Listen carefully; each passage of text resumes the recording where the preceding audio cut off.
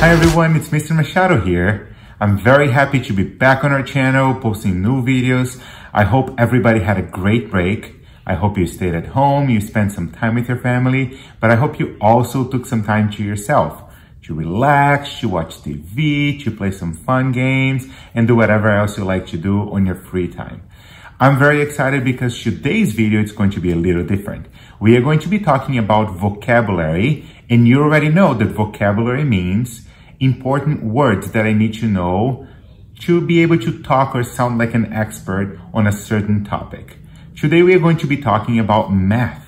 The topic of today's video is addition and subtraction. You have already learned all these words. We're just going to do a quick review because from now on, I want to make sure that you can sound like a real mathematician when you are talking about addition and subtraction. Before we jump into addition and subtraction, we have to make sure that we remember the concept of place value. Place value is something that you have been learning since first and second grade. You use that every single time you do math and you might not even realize that. Let's take a look at this number, for example, 153. If I look at this number, I see that I have three different digits. Every single one of those numbers have a different value. I know that the number 5 is bigger than 3 and it's bigger than 1, but the value of the number 5 is not the biggest value in that number. The number 5 is on the tens place. So if I count by 10 5 times, the number I have is 50. So the value of that number 5 is 50 because of the position that that number is. Let's take a look at the number 3. That number 3, it's on the ones place. So that means that that number represents three single units and that's it. So that's the smallest value on that number. Now let's take a look at the number 1. The number 1 is in the hundreds place. So that means that that number doesn't represent one single unit. That number represents 100. Therefore, the number one is the number that has the biggest value. So every time you look at a number, remember a number is composed by hundreds, tens, and ones. The smallest value always stays to the right. So if you keep jumping to the left, the value of the number gets bigger and bigger. Another word we should review before we talk about addition and subtraction is the word equation. The word equation comes very often when we're talking about math.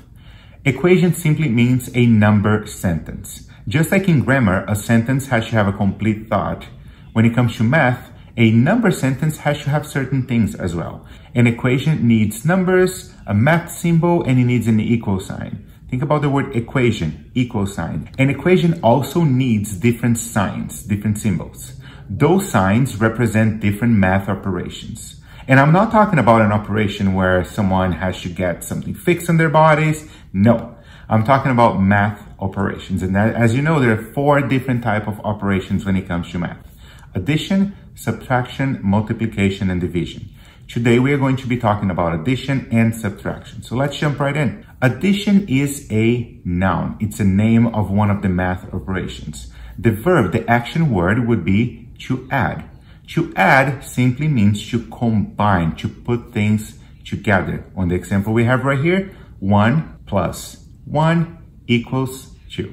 So the symbol, the sign that we use for addition is the plus sign. That's another important word for us to remember. When I look at an addition equation, I can identify those numbers with some specific terms. For example, when I'm adding two different numbers, I'm combining them, they are called addends. An addend it's a number that's being added to another one, that's being combined. So both numbers, they go by the same name. They're both called addends. The result of adding numbers together, it's called the sum. So the sum is the answer to an addition problem, is the result, is what you get at the end after you put those numbers together. So let's talk about subtraction now. Subtraction is a noun. It's the name of one of the math operations that we know. The verb, the action word would be to subtract. And when I'm subtracting something, I'm simply just taking things away. I'm taking one number from the other. The symbol, the sign that I use for subtraction is called the minus sign. It's called minus. We just learned that the answer to an addition problem is called the sum. So what about subtraction? Well, the answer to a subtraction problem is called the difference. After you subtracted, after you took something away from another number and you found the result, that's called the difference. Another word that we need to talk about before we practice adding and subtracting is the word regroup. Regroup is a verb, it's an action word.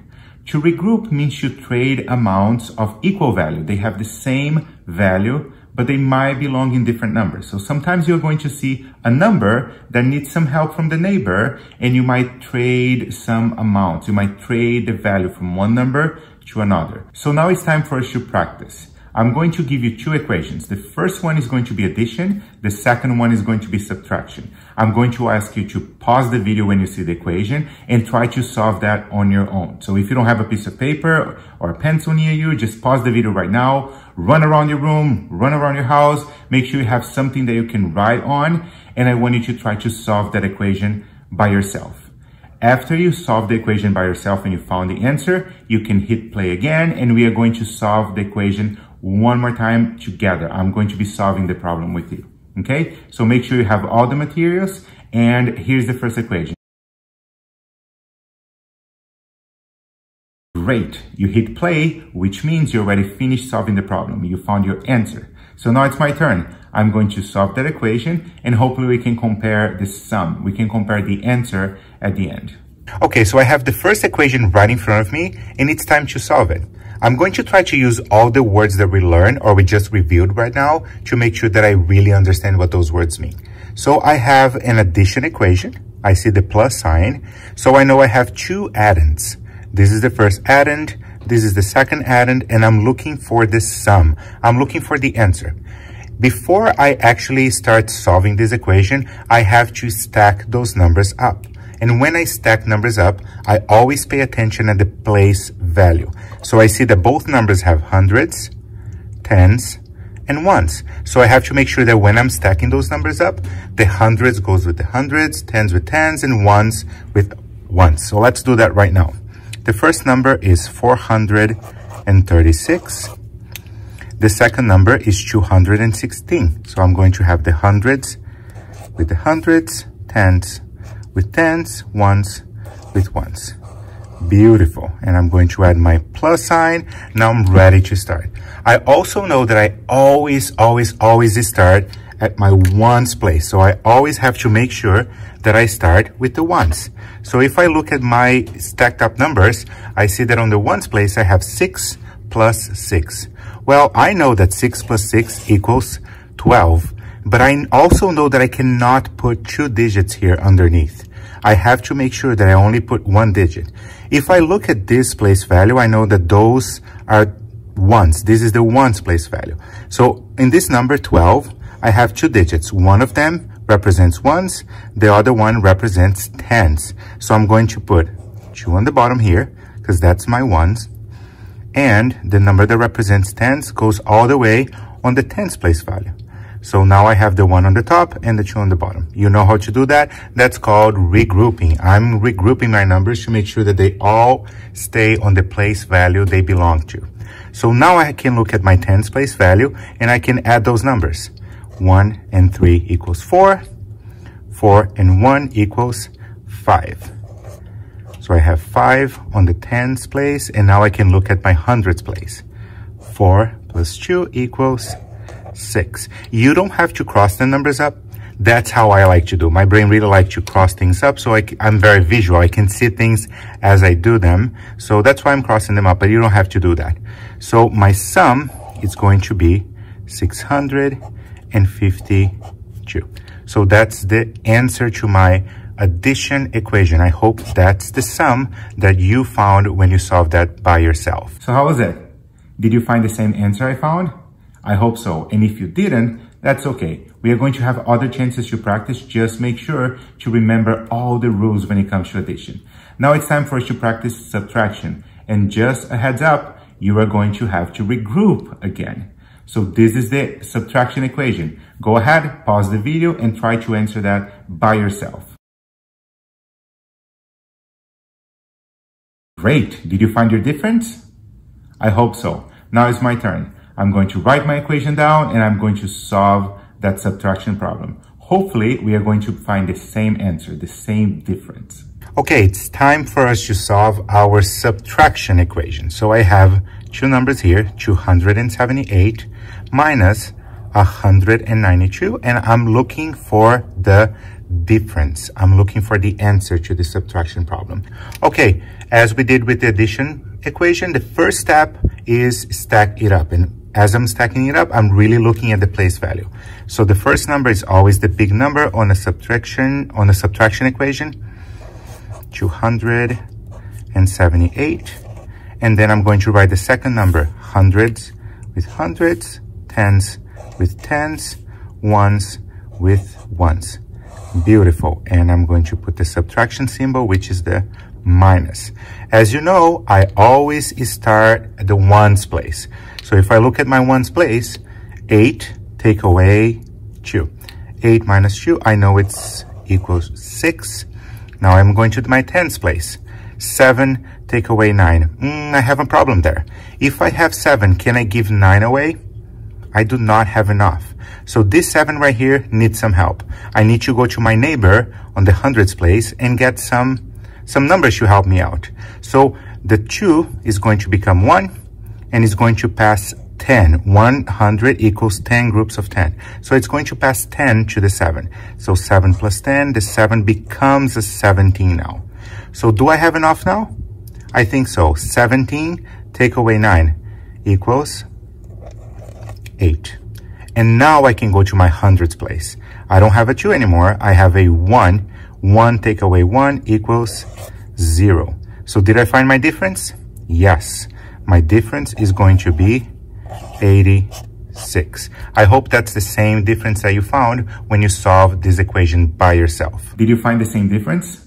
I hope so. I hope you remember all the subtraction rules that you learned so far and you were able to find the same answer, the same difference that Mr. Machado did. So now it's time for our exit ticket. Today we have a different exit ticket. My goal with this exit ticket is to make sure that you know how to use all the important math words we learn when it comes to subtraction and addition. I want to make sure you can sound like a mathematician. So first, you're going to have to solve a problem that involves addition and subtraction. And after you do that, you're going to write a sentence explaining how did you solve the problem. And that's your chance to use all the important words that we just reviewed on this video. Here's the math problem you're going to solve. It's a two-step word problem. What does that mean? You have to do two different things to find the final answer. One of them is going to be addition. The other one is going to be subtraction. So let me read the problem for you. Minion Stuart loves bananas. He had 28 bananas. When he heard about the quarantine, he decided to buy 14 more bananas. How many bananas does he have now?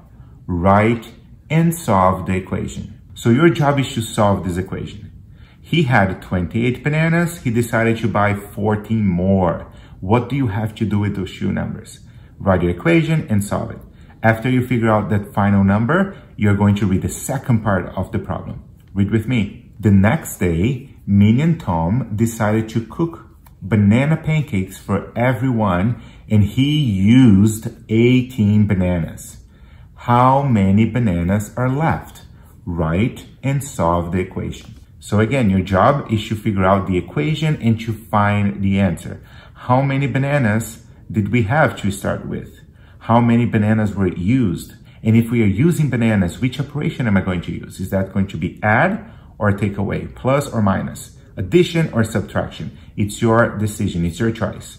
So make sure that you think about this problem, make sure that you write your equation, and you remember how to regroup when you're solving it. And now comes the fun part. You solve the problem, now it's time to write about it. You are going to use all the expert math words that you just reviewed and now are fresh in your memory to talk about how did you solve the problem? What did you do? Which steps did you take? So you are going to write three different sentences using those words. There is a word bank and your job is to use at least four of those words when you're writing about your problem. So here's the second part. Write three sentences to explain the steps you took to solve the problem. Use at least four words from the word box. The words are plus, sum, addition, minus, difference, subtraction, equation, regroup, operation. So that's it. Your assignment is on Google Classroom. Make sure you go to your own Google Classroom, you open the assignment, solve it on a piece of paper, write down your equation, and then write a little sentence explaining how did you solve the problem. That's it for today, my friends. I hope you stay home and safe, and I'll see you guys next time with another video. Take care.